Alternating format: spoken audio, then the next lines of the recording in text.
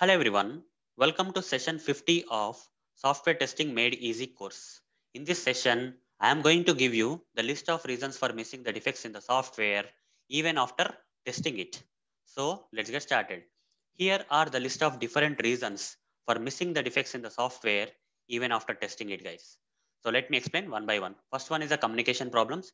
If the communication between the client, the stakeholders and the testing team is not good, that means if there is some communication lag or if there is some uh, communication ambiguity or there is no communication at all, whatever it is.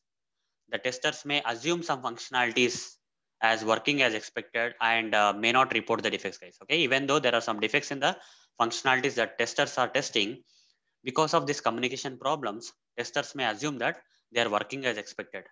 That's why defects may get missed. This is one of the reason guys. The second reason we have is complexity of the functionality. If the complexity of the functionality is uh, very high, okay, then if it is not simple to understand, testers may have to put a lot of efforts and brain into the functionality for understanding and testing it properly. So because of this complexity level, sometimes defects will be missed by the testers. Fine. Third one is less time. If the testers are given very less time to test a lot of functionality, then what happens guys? In that pressure, testers may uh, not cover all the paths. Okay, testers may not be able to cover all the paths because of that pressure, guys. And because of some functionalities not tested properly, that will lead to missing of the defects. Now, fourth one is lack of skills. The testers who are actually testing that software doesn't have proper skills or experience. What happens, guys?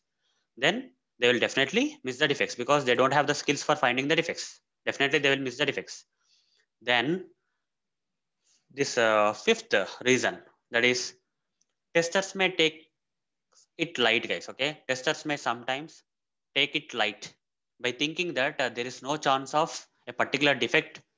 Uh, that is uh, testers may take it light sometimes by thinking that there is no chance of a defect in this particular area. Okay let's say there's some function xyz functionality guys that testers are testing daily okay? Uh, uh, 30 days they have tested on the 31st day they may get they may get a kind of uh, idea or something like they may take it light guys okay? Instead of testing it they may assume or with confidence or whatever it is okay? They, they may skip that particular area from testing by thinking that uh, i'm testing from last 30 days. Today on the 31st day there is no chance of uh, defect in this area they may think okay? Every day i'm testing there is no no defect like that. So by taking the it light for testing, right? Sometimes on the 31st day itself, there may be a defect in that particular functionality. Because of this kind of attitude or mentality of the testers, right? Defects may get missed. No matter whether it is first day or last day, we should not take it light while testing. Okay. So we should test each and everything as software tester. We should not take it light. The last reason guys, that is focus and intention of finding defects if testers have all this stuff but uh, they don't have the enough focus or intention of okay they should have a lot of determination in finding the defects. Testers should be fueled with a lot of determination in finding the defects. If that determination is not there focus will not be there right? They cannot focus. If the focus if the testers won't focus okay if the testers won't give good focus in while finding the defects while testing the functionality right what happens? They may not get defects okay? The the main cause for testers uh, missing the defects in the software is this focus guys okay? If they don't have the intention of finding defects or focus this mentality is very much important guys for the testers to find the defects. Most of the defects are found okay? Very complex okay? Very complex not so easy easy to find kind of defects can also be found if testers put a lot of focus and intention or determination in finding the defects.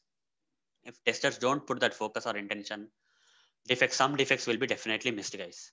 So hope guys, uh, you understood uh, the list of reasons for missing the defects in software even after testing it. So that's it guys. Thank you. Bye.